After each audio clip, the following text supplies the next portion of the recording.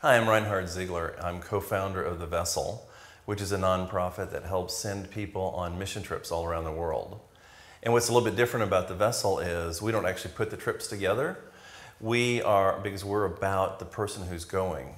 We work with organizations, churches, uh, NGOs, uh, mission organizations like Cru, Campus Crusade, and we help their people go on mission. But we believe that the mission itself changes the life of the person going as much as it changes the life of the people that they'll encounter. The thing that's interesting about the vessel is we support people who are going on their first, second, or third mission trip. So we don't support professional Christians, uh, vocational pastors, or people who've just been going on mission for years because they have such a heart for it. What we're doing is we help support the person who's taking that big step of faith um, uh, to raise support. And in the process of doing that, a lot of the applications we get, people are really scared. They don't know how they're going to raise $3,000 or $5,000 to go on a mission trip. And so we want to come alongside that person and help them. Uh, Lori Lovelace, my wife, went on mission when she was in college, and she spent the entire summer in Thailand and it was just um, it, it was a life-changing event for her and it just gave her the impulse that she said one day uh, i wonder how we can help people. You know people have such a heart for missions and i think there's a need for it. And so we we figured out how to establish a nonprofit with the help of some other folks. This project is really focused on the idea of reconciliation because last year in the political cycle we were in the refugee crisis that, that we're seeing all over the world, especially the Middle East, um, and just uh, the whole Black Lives Matter movement. There were so many things going on that we really felt like reconciliation was a very important word to us. And on top of it, God really put 2 Corinthians 5, uh, 18 to 20 on my heart, where Paul is writing to the Corinthians, and he says, God has reconciled himself with you through the death and resurrection of his son. Now you get to be my ambassadors. You get to tell people that God wants you to come back to him. And that passage, even though I'd read it, I don't know how many times, it just struck me. And I said, I think there's something that we can do here.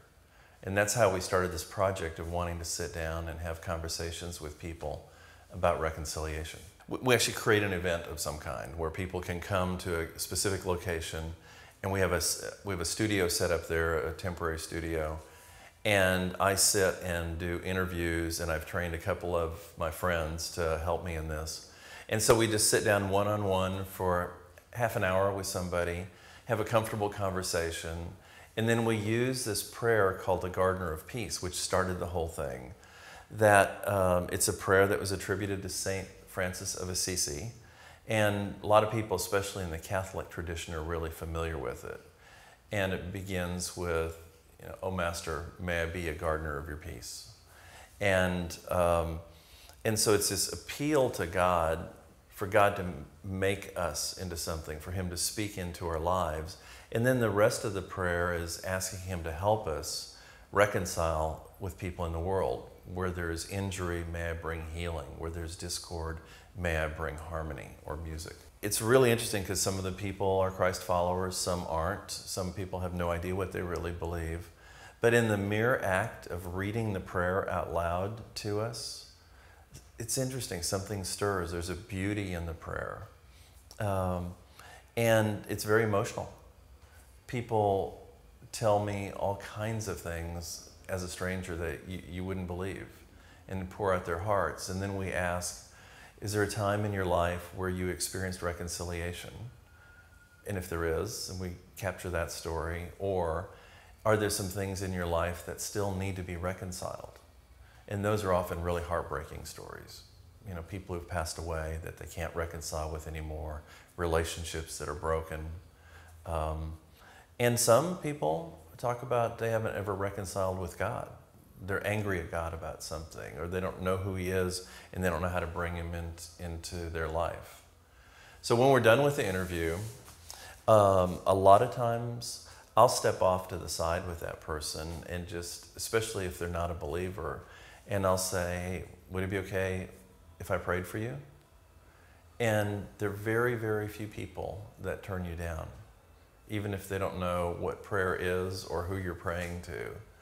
It's a, it's a really special moment, it's a sacred moment. And um, we think that's part of the project. If we can bring healing, if we can be gardeners of peace right in that moment with somebody, we try to seize that moment as well. The, the idea of reconciliation actually runs through the Old Testament and the New Testament. And it wasn't until I got into the project and started digging into it, going into the concordance, doing word searches in different, in different uh, translations of the Bible.